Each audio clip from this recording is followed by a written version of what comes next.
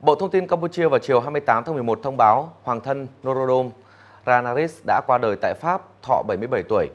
Hoàng thân Norodom Ranaris sinh ngày 2 tháng 1 năm 1944 là con trai cả của cố quốc vương Norodom Sihanouk và là anh em cùng cha khác mẹ với quốc vương Norodom Sihamoni. Hoàng thân Norodom Tanaris đã từng giữ chức thủ tướng thứ nhất của Campuchia từ năm 1993 đến 1997 và sau đó là chủ tịch Quốc hội Campuchia từ năm 1998 đến năm 2006. Trong suốt nhiều năm, ông là lãnh đạo Đảng Bảo Hoàng Phansipech tham gia các cuộc bầu cử.